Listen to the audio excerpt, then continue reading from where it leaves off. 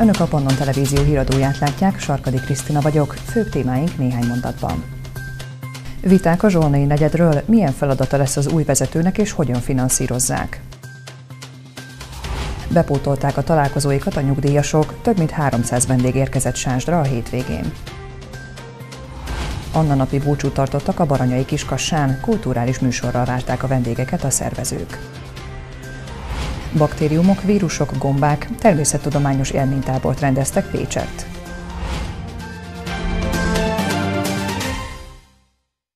300 ajánlásra van szükségük az indulóknak Mohácson.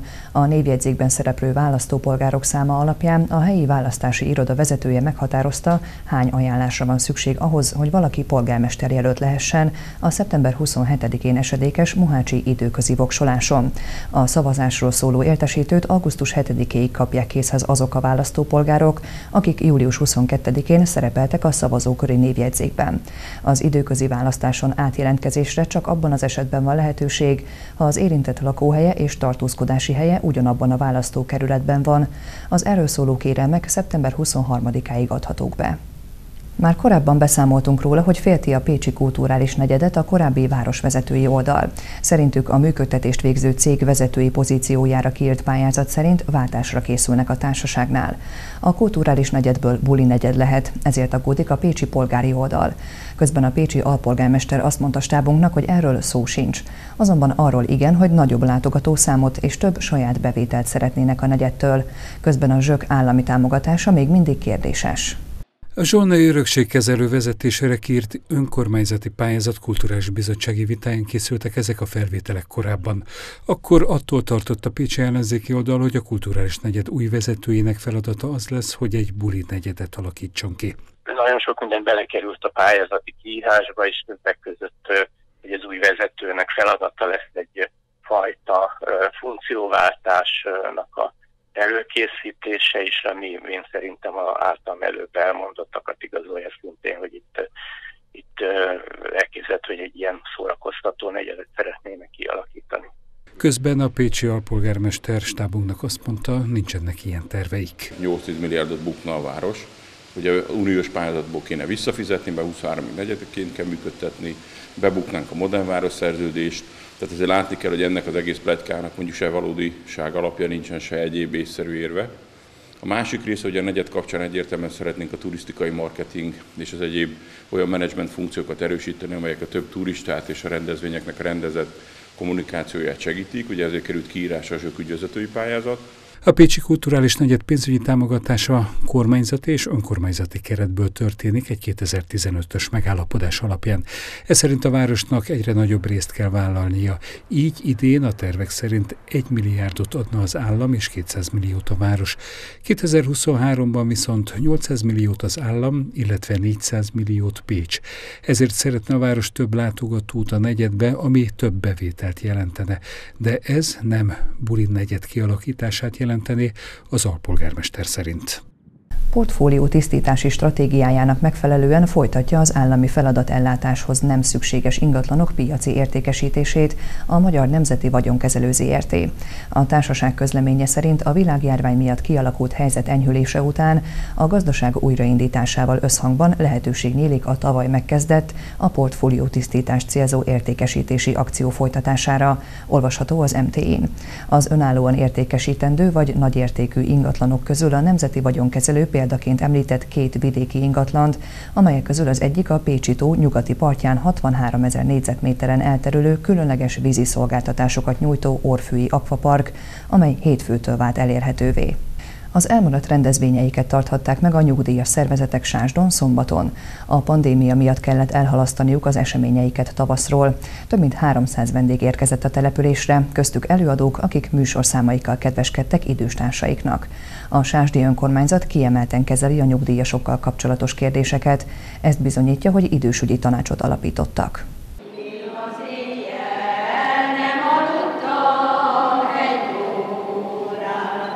A Pécsi Búzavirág népdal és tánckor a színpadon a Sásdi Közösségi Házban szombaton. Népdalcsokorral érkeztek az eseményre a Baranyai megyeszékeiről.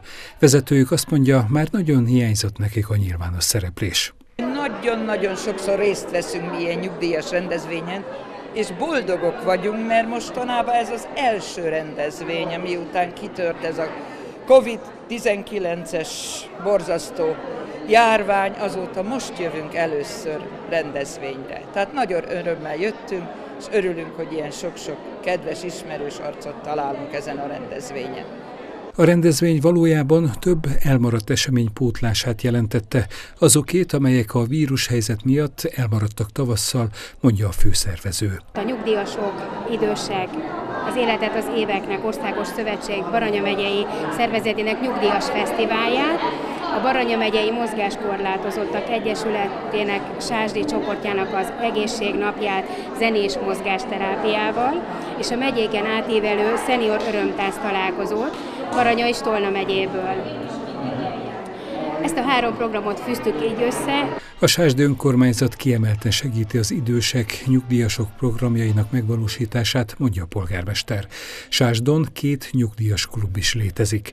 Új hír, hogy képviselőik bekerültek az önkormányzat egyik szervezetébe. Megalakult egy idősügyi tanács, ahova mind a két nyugdíjas klub tagjai delegálnak eh, tagokat ez a polgármester elnökletével működik, és egy ilyen konzultatív, javaslattévő, véleményező szerv. Azt gondolom, hogy ez a jövőben nagyon fontos lesz abból a szempontból, hogy a, az idősek javaslatait az önkormányzati döntések meghozatalánál figyelembe tudjuk venni. Volt is ülése ennek az idősügyi tanácsnak, és hát a jövőben ezt rendszeressé kívánjuk tenni. A szombati eseményre Baranya megye több településéről érkeztek nyugdíjasok, köztük énekesek és táncosok, akik előadásaikkal szórakoztatták idős társaikat. Összesen 320 meghívott vett részt a nyugdíjasok eseményen Sáston. Megjelentek az idei utolsó pályázatok a Magyar Falu program keretében. Ezúttal 12 milliárd forint keretösszegben lehet pályázni önkormányzati kerékpárutak építésére, temetőfejlesztésre, építési telkek kialakítására, valamint elhagyott ingatlanok közcélra történő megvásárlására. A most kiírt tenderekkel 22-re emelkedett a Magyar Falu program idei felhívásainak száma, ebből 6-ban már eredményt hirdettek. A pályázatokat szeptember 10-ig lehet benyújtani. A nyertesekről 60 napon belül döntenek, a támogatási okirat aláírását követő 5 napon belül pedig az önkormányzatoknál lesz a forrás. Megtarthatták Anna napi búcsújukat a kiskassai németek vasárnap. A járványügyi szabályok lazítása adott erre lehetőséget. A település megemlékezett a helyi német ajkúak világháborús áldozatairól is. Vasárnap kulturális előadásokkal, valamint gyermekprogramokkal várták a vendégeket a búcsú napján a kiskassai németek. Lovas vezeti a felvonulást a Baranyai Kiskassa főutcáján vasárnap délután. A menetben a kulturális műsor szereplői vettek részt, akik utána a helyi kultúrház udvari színpadán léptek fel.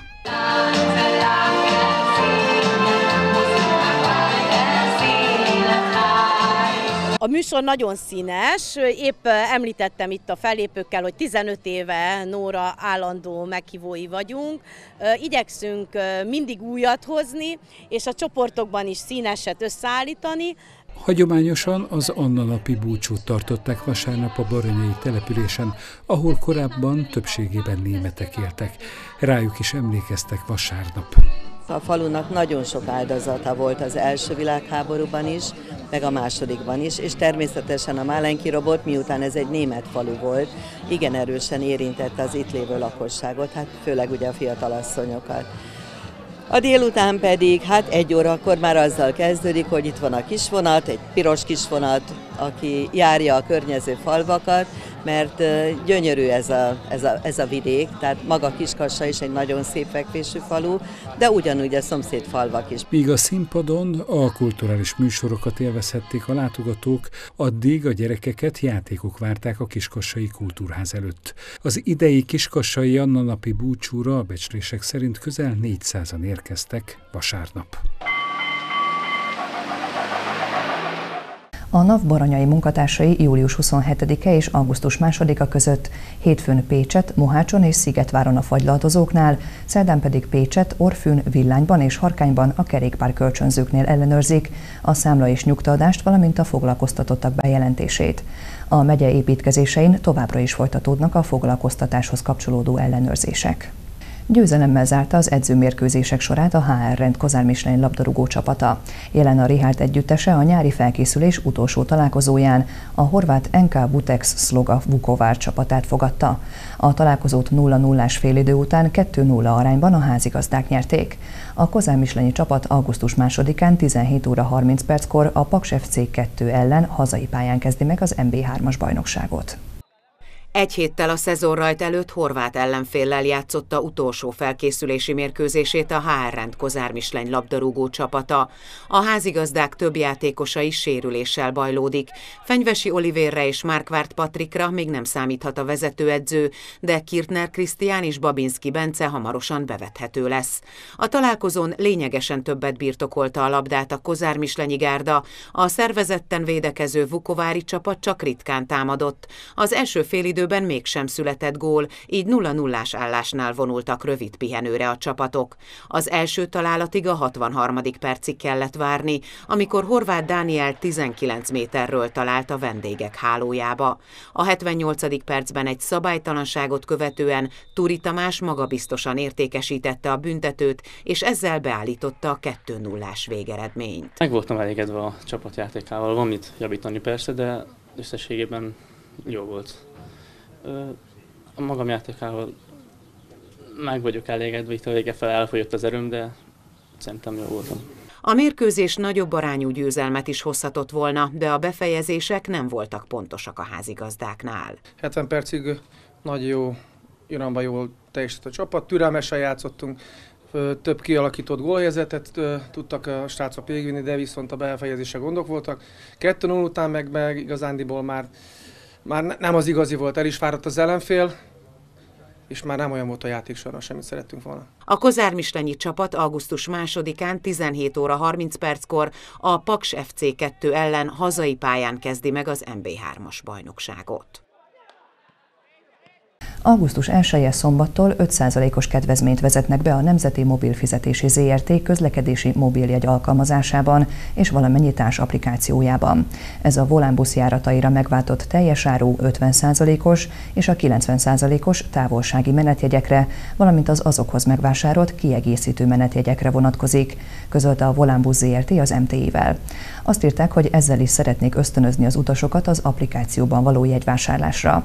A tájékoztatás szerint a QR kódot tartalmazó matricák minden volánbusz járműre felkerültek, így augusztus 1-ével a rendszer már az egész országban biztosítja az applikációban megváltott menetjegyek, bérletek gyorsabb és egyszerűbb ellenőrzését.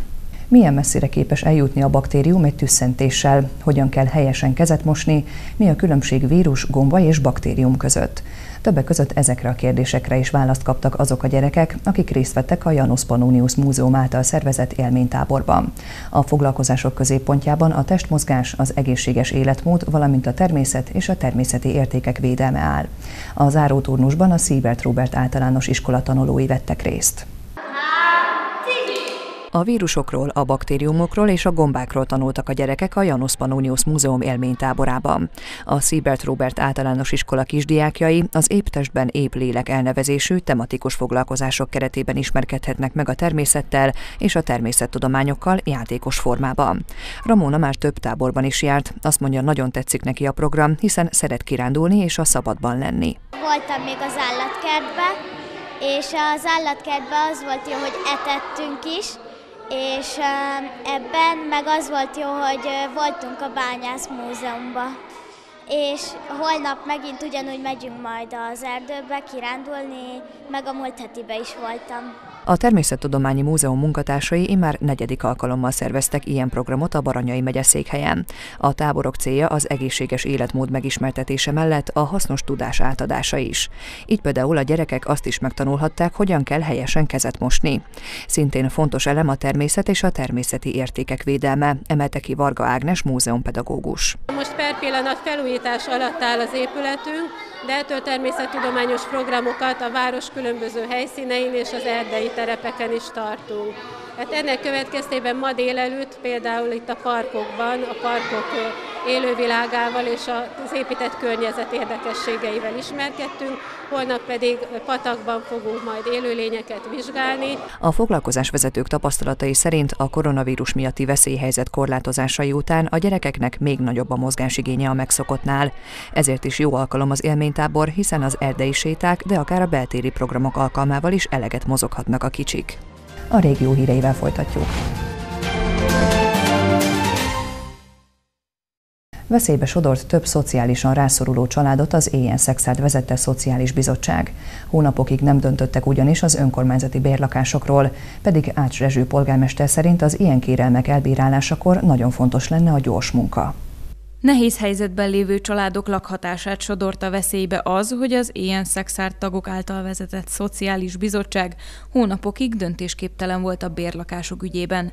Ezt mondta Ács Rezső a hétértékelő sajtótájékoztatóján. Február 28-áig kellett benyújtani az igényeket, és július 2-án, vagyis közel 5 hónap után született meg a döntés ez ügyben. Ács Rezső polgármester szerint etikátlan az amúgy is bizonytalanságban élő embereket még nagyobb bizonytalanságba kergetni azért, mert a bizottság döntésképtelen. Bár a döntés a Szociális Bizottság dolga lett volna, ők ezt mégsem tették meg, ezért Ács Rezső polgármester a járványhelyzet alatt vállalta a három bérlakás kiosztását, de arra kérte a Szociális Bizottságot, hogy ők is tegyenek javaslatot.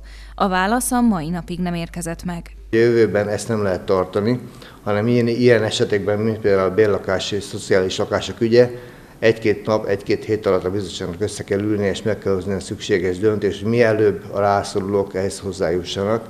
Úgyhogy remélem ezen a területen jelentős előrelépés lesz, mint ahogy más területeken is. 25-30 szoros túljelentkezés van ezekre a szociális bérlakásokra, így nagyon meg kell fontolni, hogy kinek utalják ki. Ács Rezső szokásos sajtótájékoztatóján arról is beszélt, hogy elindult egy újabb jótékonysági akció a városban. A Reformáló Egyesület és a Humán Szolgáltató Központ közös együttműködésben szervez gyűjtést a nehéz helyzetben lévő szexárdi családoknak. Ezúttal az iskola kezdés megkönnyítésére indult a kezdeményezés. Tanévkezdés az komoly anyagi terhet minden családra, most ennek szeretnénk, ezen szeretnénk egy kicsit könnyíteni, és ezért eh, mi vittünk is be a humán szolgáltató központhoz különböző eszközöket, új eszközöket, de nem csak újakat várunk, hanem használatokat is. Én szeretnék biztatni és kérni mindenkit, minden szexuális, hogy aki megteheti, vegyen részt ebben az akcióban. Új vagy jó állapotban lévő használt iskolai eszközöket, tanszereket várnak a Humán Szolgáltató Központban, Szexárdon a Vörösmarty utca 5 szám alatt. Kikotorják a belvizek elvezetésére kialakított patakmedrét Bátaszéken. A város költségvetése idén nem bírja el a teljes hozban történő mederrendezést, de a legfontosabb szakasz elkészül őszig. Munkaképek dolgoznak a Bártaszéki kövesdiáloknál, mely a város vízgyűjtő rendszerének fő ütőere. Az a szerepe, hogy a település külterületéről gyűjtse össze a lehullott csapadékvizeket. A patak állapota olyan volt, hogy nem lehetett tovább várni a tisztítási munkák megkezdésével.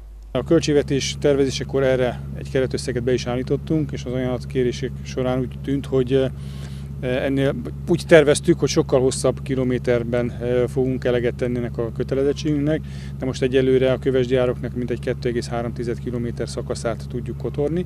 Ez alapvetően a M6-os gyorsforgalmi úttól az 56-os útig terjedő szakasz.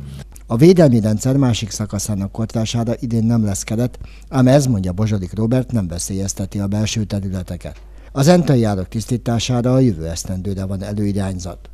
Bár önkormányzati területen fogjuk elhelyezni a kitermelt iszapot, de mivel mezőgazdasági művelésben is részt vesz, lehetőség szerint ne okozzunk mezőgazdasági kárt, illetve azokon a szakaszokon, ahol nem megoldható, hogy közvetlenül az árok mellett helyezzük el, ott az elszállításra is gondoskodunk. Ez ebben a költségvetési évben maga a megalkotrási feladat az mintegy 4 millió forintot fog majd felemészteni. Ha a munkák elkészülnek, biztonságosabbá tudjuk tenni a villámvizek levezetését, mondja Bátaszék polgármestere. Utoljára két esztendővel ezelőtt egy nagy esőzés után ezt a területet elöntötte a víz. Erre most a munkák végeztével már nem kerül sor. Nyugdíjasként is igyekeznek aktívan lenni, és a közösségért tenni azok a katonák, akiket a napokban köszöntöttek Kaposváron. A Toborzó és Érdekvédelmi Központban 13-an vehettek át elismerést. Mint az az ünnepségen elhangzott, a csoportok rendszeresen találkoznak és programok szervezésével igyekeznek összetartó közösséget alkotni. Ezek az elismerések már korábban átadásra kellett volna, hogy kerüljenek, de sajnos a vírus az közbeszólt, így a március 15-e, illetve a május 21-i elismeréseknek az átadására került most sor. Dr. Benkő Tibor Magyarország honvédelmi minisztere a nyugállományok szervezeteiben, valamint a honvédelemért hosszú időn át végzett munkájuk elismeréseként nemzeti ünnepünk és a Magyar Honvédelem napja alkalmából adományozott aranykor és honvédelemért kitüntető címet, illetve elismerő oklevelet a nyugdíjas katonáknak. Pilusin István 35 évig szolgált a honvédségnél, több állomáshelyen teljesített szolgálatot, mindig a légvédelemnél, rádiótechnikai csapatoknál dolgozott. Nyugdíjasként idősként is igyekszik aktív maradni és tenni a közösségért. Nagyon igényli minden idős ember az, hogy társaságban legyen, és egyrészt szerezzen információkat a honvédség jelenlegi állapotáról, másrészt pedig találkozik régi kollégákkal, régi barátokkal. Nagyon sok rendezvényünk van, szinte havonta az Egyesületnek is és a klubnak is van, illetve a tagozatnak is van külön rendezvénye, amire szép számmal szoktak eljönni. A Kaposmári ünnepségen többen emlékplakettet és emléktárgyat vehettek át aktív nyugdíjas munkájuk elismeréseként.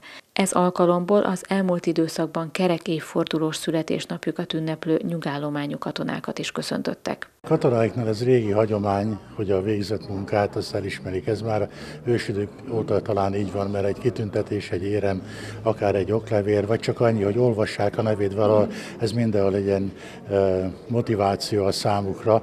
Sokan már várják, és amikor úgy érzik, hogy most többet tettek a közérdekébe, többiek érdekébe, főleg idősebb katonáknál, nyugdíjasoknál, akik többet vállalnak, mint a klubnak a többi tagja, azok feltétlenül megérdemlik az elismerést, és örülnek is neki. A Noszlopi Gáspár Honvéd nyugállományú klub rendszeresen szervez programot a mintegy 140 tagjának. Ősszel egy emléktáblát szeretnének állítani névadójuk emlékére, hiszen Noszlopi Gáspár az 1848-49-es forradalom és szabadságharc őrnagya 200 éve született. A magyar triatlon sport legjobbjai versengtek egymással Lengyel Tótiban az Elit Mix váltó VB válogatóján. A Supersprint döntőjében 300 méter úszás, 8 km kerékpár és 2 km futás várt a versenyzőkre.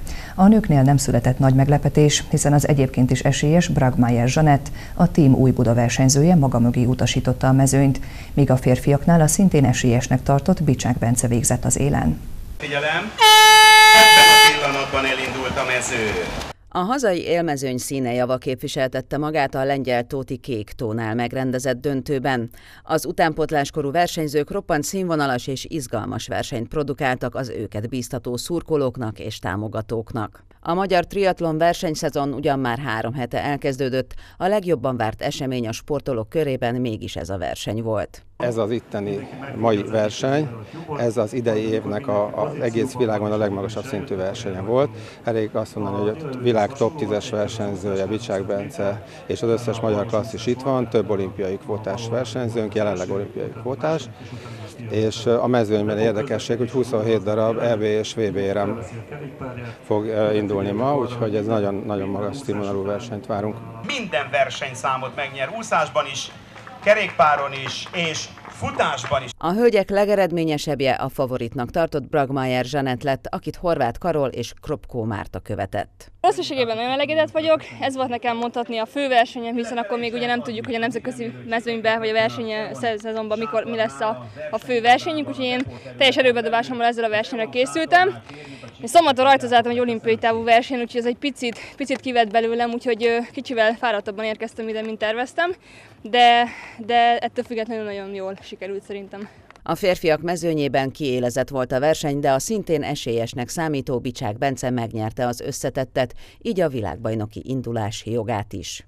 Bicsák Bence, Bicsák Bence megnyeri, ebben a pillanatban három pontja van. Amit mi itt hozunk, szerintem magyarok, többen is, tehát nem, nem csak magamra gondolok, a többiekre is. Szerintem eléggé közel vagyunk a világ élvonalhoz, úgyhogy én szerintem, ha jól csináljuk, akkor elégnek kell legyen egy nagyon jó eredményre. A németországi világversenyt szeptember elején rendezik meg Hamburgban. Híradónk végén baranyai témáink még egyszer röviden. Viták a Zsolnai negyedről, milyen feladata lesz az új vezetőnek és hogyan finanszírozzák. Bepótolták a találkozóikat a nyugdíjasok, több mint 300 vendég érkezett Sánsdra a hétvégén. Anna napi búcsút tartottak a Baranyai Kiskassán, kulturális műsorral várták a vendégeket a szervezők. Baktériumok, vírusok, gombák természettudományos élménytábort rendeztek Pécsett.